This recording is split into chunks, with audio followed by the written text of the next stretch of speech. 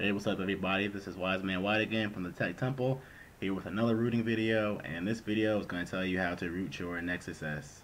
And first, for a little bit, if you don't know what rooting is, you can kind of think about it, let's say, you know, when you're at school, or you're at work, or you're at the library, and they kind of restrict some stuff.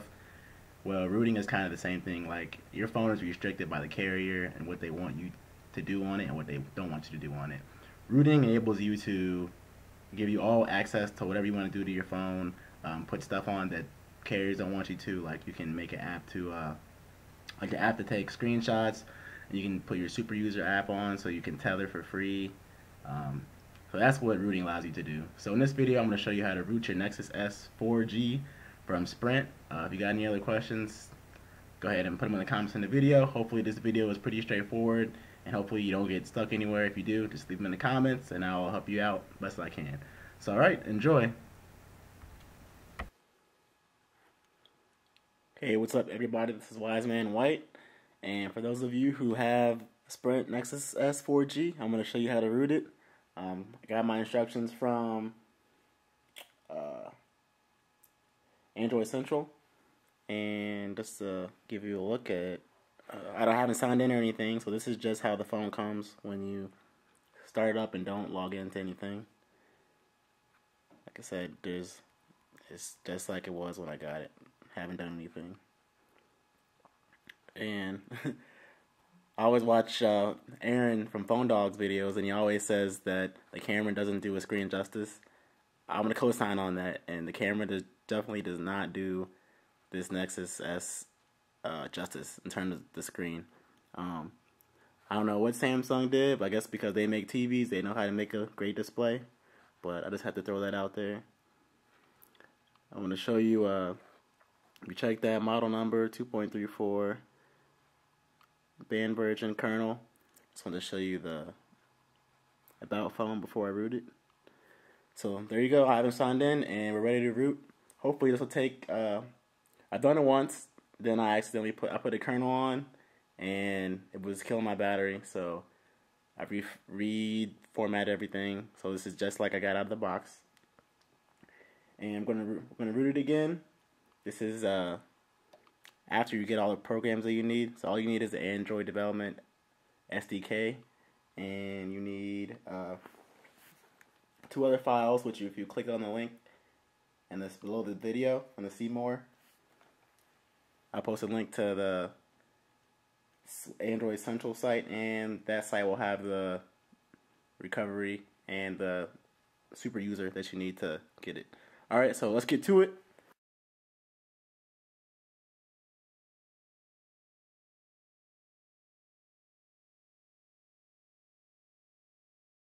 Alright, so first before we start off anything, we need to get all the files. So head up to the techtemple.com, there should be on the front page a link um, to get to that, just click below the, below the video. It should say see more, and follow the link right there. I'll just have the link to the post that I use from Android Central. So the first thing you're going to need to get is the PDA net. You can download that and install it on your computer. And what that's going to do is put the drivers on your computer, so when you plug it up to the computer, it'll read it. And the second, what you need is the SDK files. So right here on the screen, I have a screenshot of uh, what the SDK file looks like. And make sure when you install it, please put it in the main part of your hard drive. Don't put it on uh, in some folder, just like I have on the screen. Put it on the C drive, C drive, which is probably your main drive. And once you do, you click that, and you click your. It's going to be called Android, as you can see in the screenshot. And then you're going to click uh, Android SDK. And right now, you want to go to the Tools folder, and you want to find either I forget which file it is. It's either the fast boot file or there's a uh, Clockwork mod file. Either way, you want to copy that file and paste it into the platform tools folder. Uh, that's one step they forgot to tell you. So once you have it into the platform tools folder, go ahead and open the platform tools folder. Um, paste it in there, and then you want to right click on any file in that platform tools folder. Just right click and go to properties, like you see in the screenshot, and look in the location. You just want to highlight that location and copy it. That's going to make it a lot easier to use the command prompt. Alright, so I show, showed you what you need. And right now we're going to go ahead and shut the phone off. Power off. Okay. And we're going to reboot into recovery mode. So on the Nexus S, you hold the volume button up, and then you hold the power button. And it'll look like that. Hopefully it's uh, readable. Let me zoom in a little bit.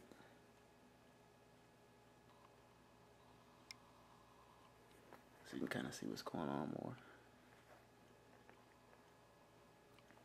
Alright, so now you see that. So now we're using the command prompt. And you're already in your folder, you're in your Android platform tools folder. So now just like the link says, you want to type in um, fastboot OEM unlock. And what that's going to do is, like it says, it's going to unlock the phone. So this is for Windows. So go ahead and press the Windows key, and for the command prompt, prompt just put the Windows key in and just type command prompt, and should come up. Now the trick here is uh, it's probably not set to your default uh, hard drive where you want to find this Android SDK.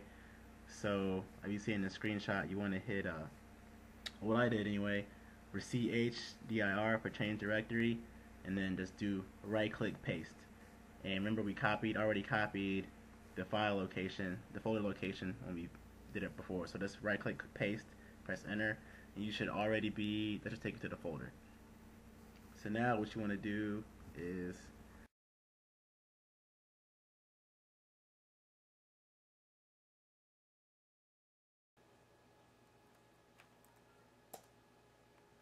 I just I just ran fastboot OEM unlock, and like you see right there. Do I want to unlock it? Yes, I want to unlock it. So hit that, yes. Ah. Don't know what's going on. Oh, okay. Now I know what, what happened. Um, to make your selection, you have to use the uh, volume keys since the soft keys aren't working in this mode. So you hit up. Now once you do that, you hit the power button to confirm. That's in all, every time you're in recovery mode, you always use the power button and the up and down volume buttons. So hit power button. Yes.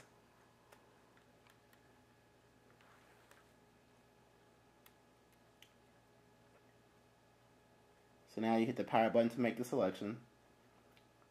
So now back into the command prompt. You want to use the flash, the thing that says flash boot flash recovery, the im dot, dot img file.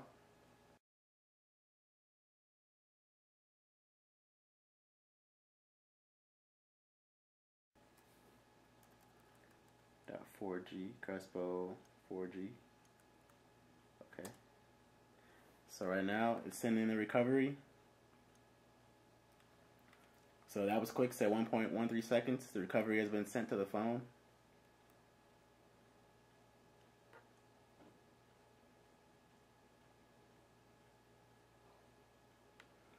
So now it's been sent to the phone. To prove that to you, we can use this volume arrows and go down to reboot.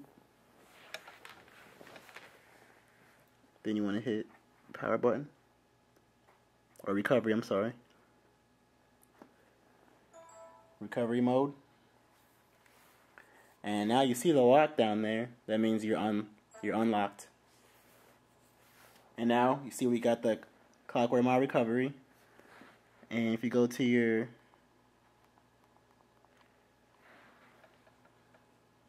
install zip,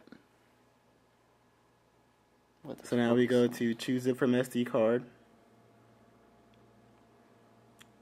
Oh, no files found.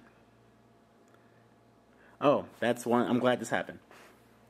So once you do flash the, you put the S super super user on, it'll erase everything that was on your SD card or your internal memory. So the file that you had put on there is probably gone. So what you have to do is hit go back, the last selection menu, hit reboot system now.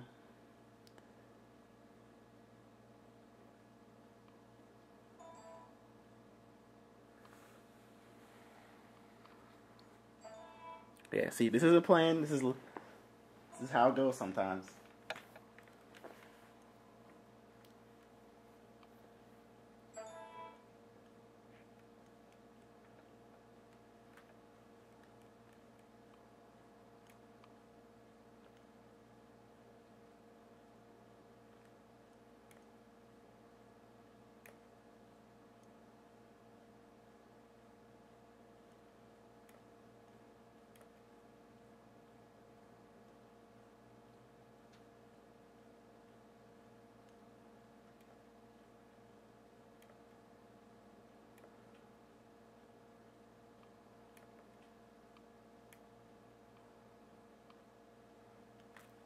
Alright, so we're to turn this on.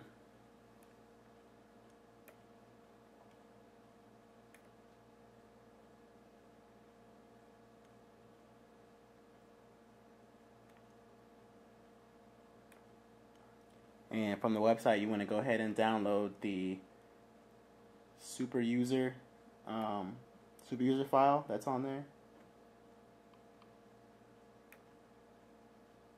On the website it says this is the file you want to put on the root of your SD card. And when people be my root by root on the SD card, that means you're just putting it right on the SD card. Don't put it in the folder. You're just going to put it right in there. So I just downloaded that file. And I'm going to put that on the root of my SD card.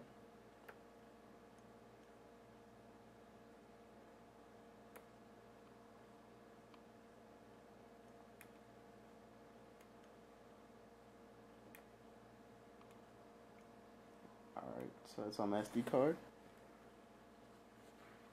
so we want to go hit the back button, power button, power off, okay.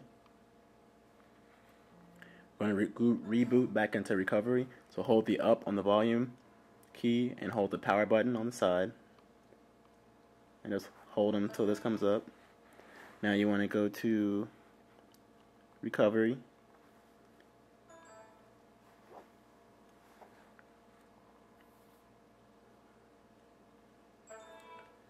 Alright, now try to bring this up some. Now you want to go down to install zip from SD card. Fourth option or fifth option. Choose up choose it from SD card. The second option. And it says SU dot three dot six blah blah blah blah. Do that one. And it says yes install. And this is giving you super user access, so you can install all your um, like Shoot Me and Pick Me and CacheMate, all those all those kind of apps. And so it installed, it's all complete. So then we just go back, reboot system now, and there you go. You're rooted.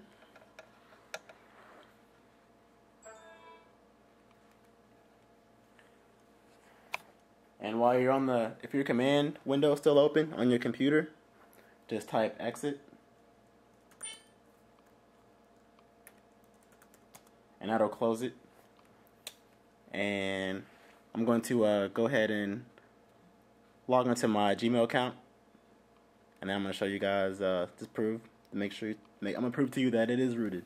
Alright, I'm back, signed into my account, my Gmail account, and I don't know why, but I, I unchecked this allow Google's Google's location service to collect anonymous location data, and it says even when apps are running, it's going to use the service, and I feel like it's going to drain the battery a little bit, so I always uncheck that. But I leave the second option on, and restore from your Google account. That'll make sure that your apps that you had already downloaded on your previous device will be installed on this device, and keep the second one checked also because that'll let it Google know that this is the this is the device that you want it to go from to make backups from from now on. So go ahead and hit that next.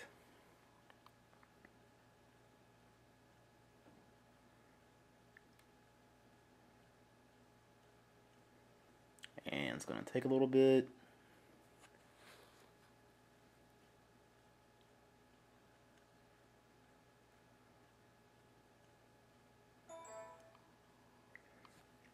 There goes the computer again. Alright, then it's finished. So, finish setup. And there you go. It's got my wallpaper from. yeah, that's not the wallpaper that comes with your next, but that's a wallpaper I got from Zedge. Kind of, it's nice. Kind of like a neural network. And with this AMOLED screen, it looks gorgeous on it.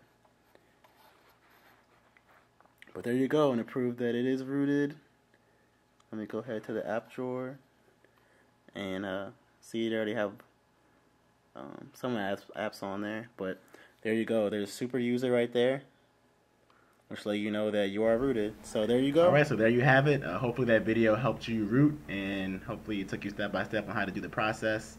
And now you have the ability, like I said in the beginning, you can get some apps that let you do what you normally couldn't do, like take uh, screenshots, or you can Tether, which lets you use your phone's signal, and you can use it for a uh, wireless hotspot, so you can get your computer on the internet if you don't have internet access somewhere.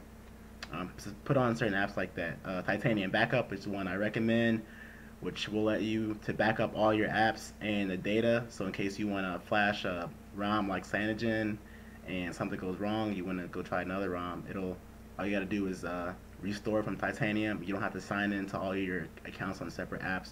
It'll just restore all your data, all your apps signed in. Easy, takes five minutes. Bam, bam, bam. That's the easiest way to do it. So Titanium Backup is one, uh, probably the most important app I would say to get after you root. If you have any problems, leave comments in the video. And uh, if you're wondering what you do now, now that you're rooted, your phone looks the same, but you want to know what what is the custom ROM, what kind of ROM can I put on it. I put CyanogenOne on my phone, even though I said it wouldn't. Uh, I tried the nightly, and, and, it was pretty good. So it's pretty stable, no problems with it. So I'm going to show you a quick video on how to do that. It's a real, real, real quick process. Pretty much just involves putting the ROM on, putting the Google Apps on, signing into your account, bam, you're done. All right. Uh, thanks for checking me out. The Tech Temple. See you guys later.